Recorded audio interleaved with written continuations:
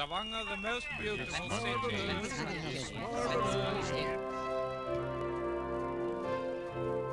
Ja, riktig god søndag. Ja, det ble ikke så galen helg i Stavanger i dag som jeg trodde.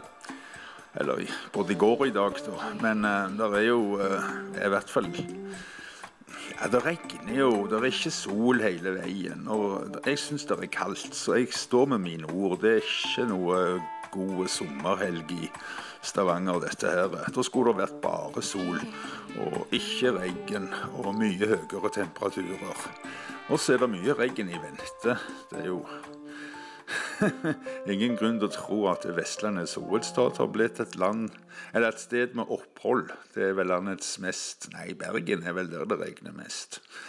Ja, Tenk at folk kan bo i Bergen, da. Altså, Stavanger er iallfall en vennlig by.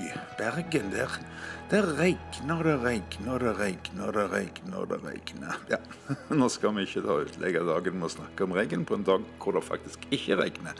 Ha en riktig god søndag.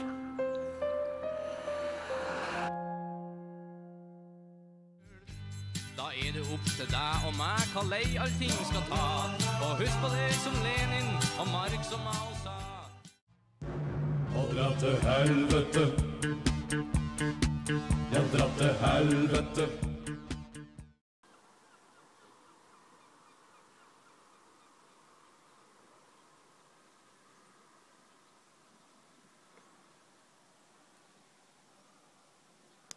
Ikke mere sukkertøy og ikke mere ladesleng. Ikke gulrot